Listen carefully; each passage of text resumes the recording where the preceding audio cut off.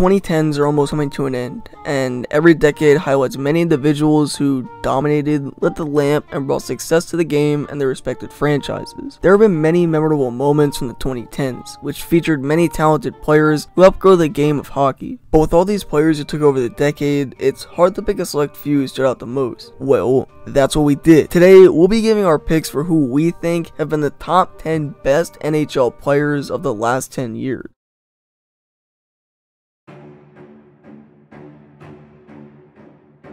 Doughty was a huge part of the decade, helping quarterback the Kings defense to two Stanley Cups in three years. Doughty was able to notch almost 500 points this decade and was regarded as one of the best D-men of the early 2010s. What made Doughty special was his leadership qualities and his ability to move the puck. Doughty's hard work finally paid off in 2015 as he was able to take home the Norris Trophy for Best Defenseman. Doughty was a key player and was a very important piece to the dominant Kings team of the 2010s, but we think ranking him at number 10 makes the most sense.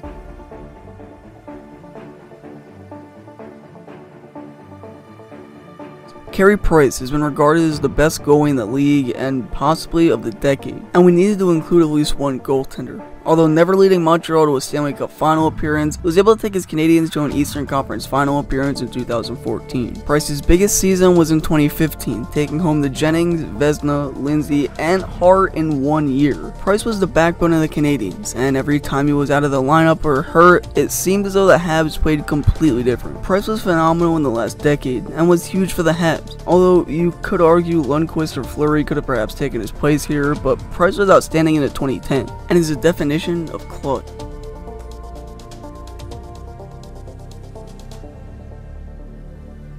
Stamkos was electric in the 2010s, helping turn Tampa into a legit foe and taking Tampa deep into the playoffs. Stamkos always has a knack for goals, and the puck, and it shows, as Stammer was able to make anyone better around him. He was one of the main reasons as to why the Lightning were able to get back to the final in 2015. Stamkos lit the lamp so much that in the early 2010s, he took home not one, but two Rocket Richards in three years. Stamkos also possessed great leadership qualities and had a brilliant hockey IQ. Stamkos was extremely good and will continue to shine as the decade comes to an end, but we feel there's some players that could rank higher than him on the list.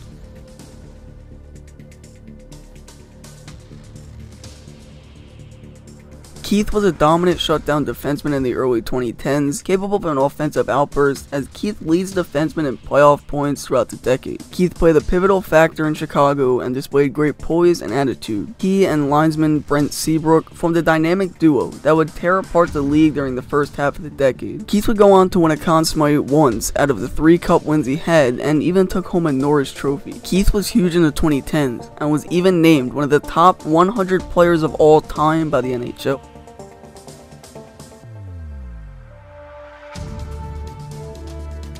Malkin has always seemed to be overlooked, as he's always been the partner to Crosby and is seen to be overshadowed by Crosby, making him one of the most underrated players of the decade. Regardless of all this, his production is just as important to the Penguins as Crosby's, as Malkin has always showed his dominance, especially during the absence of his captain, as Sid went down in 2011-2012, and this was when Malkin showcased just how skilled of a player he was, producing 109 points in 75 games, winning an Art Ross, Hart, and Lindsay in the same season. Malkin's won two cups during the 2010s and has always been a point per game type of player. Malkin is a special talent and deserves more recognition.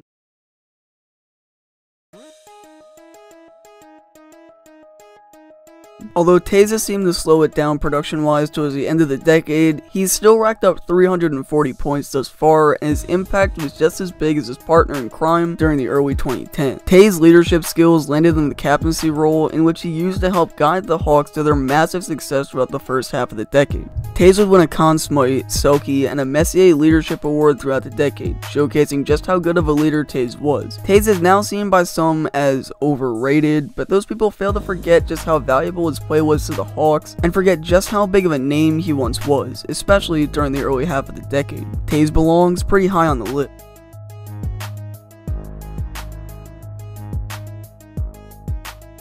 Karlsson may be the best defenseman of the decade, as he's a literal beast. He's a possession machine and his stats showcase his success. He's an elite offensive defenseman, producing over 400 points in almost 490 games, averaging more points per season than regular NHL forwards. In fact, he has held the single season scoring mark by defensemen for 3 out of the 4 years in the last 10 years. Although his play in his own zone is still a bit rusty, he's able to counter by relying on his offensive awareness and even leading the league in blocked shots in 16-17 season. Karlsson took home two Norris trophies and is the only player on the list to get traded to another team throughout the last 10 seasons.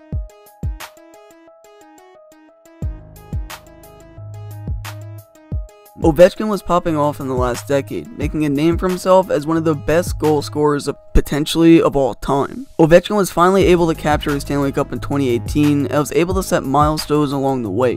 Ovechkin has come the closest to breaking Gretzky's goal scoring record than anyone has ever been, as he averages about 41 to even 50 goals a year.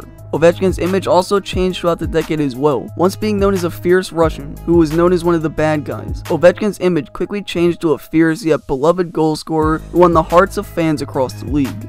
Ovechkin would take home 6 Rocket Richards, 1 Hart, 1 Lindsay, and a Conn Smythe throughout the last 10 years. Ovi's name is seen throughout numerous score sheets and throughout numerous seasons throughout the decade.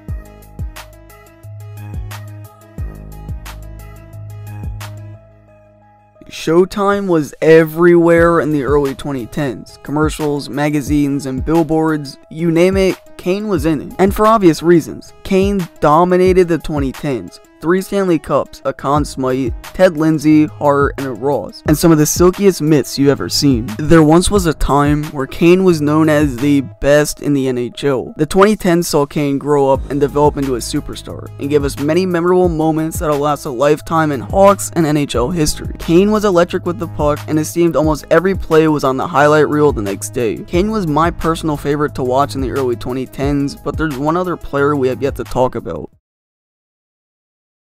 There's no denying that Sidney Crosby was the man of the 2010. Crosby, despite facing several injuries throughout the decade, sits just a few points behind Patrick Kane for the most points in the decade. Crosby is also the highest point per game out of everyone in the past 10 years. He was also able to take his Penguins to the Stanley Cup final twice and came out the victor both times, winning playoff MVP in both runs. Crosby has virtually no flaws in his game, and even as he continues to age, he's still an elite point producer and continues to dominate the league. Crosby managed to take home an Art Ross, Ted Lindsay, and Hart trophy throughout the entire decade. Crosby's a special player and highlights the best of the best of the 2010s.